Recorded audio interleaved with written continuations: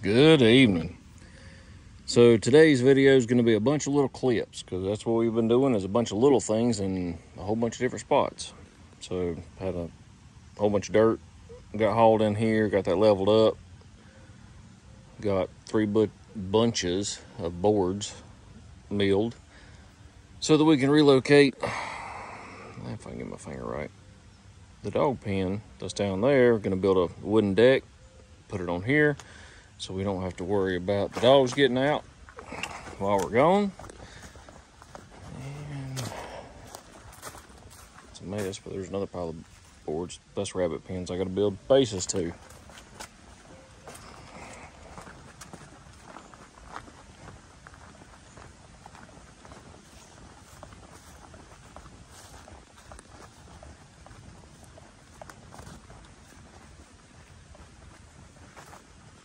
Got the rest of this planted.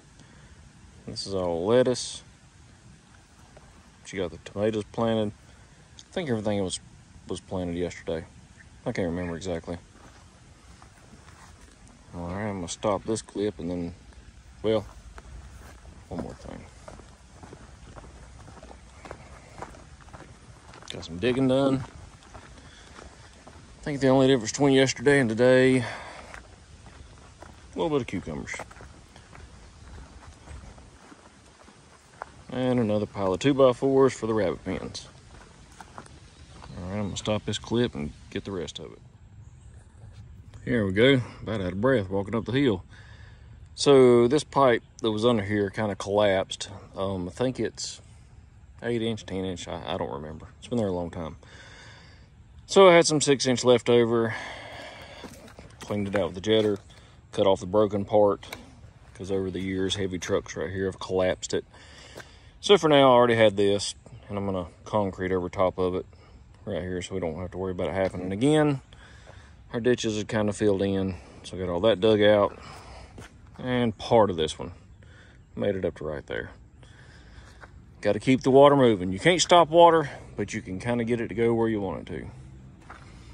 All right, and Bo, I try to zoom in, look how nasty Bo is. Bo, Show him how nasty you are. Yeah, him is a dirty boy, ain't he? Yep, we had a rabbit get out. One hid underneath that building. So Bo spent most of the day trying to get to it. I didn't even realize it had happened. But anyway, rabbit's safe. Bo's happy and nasty. I think that's it for today. Oh, got the sawmill running. Full tune up. Air filter, spark plugs, oil change, fuel filter, the whole the whole nine on that. Uh, one culvert clean today. I think that's it. All right. Y'all have a good evening. Thank y'all for watching.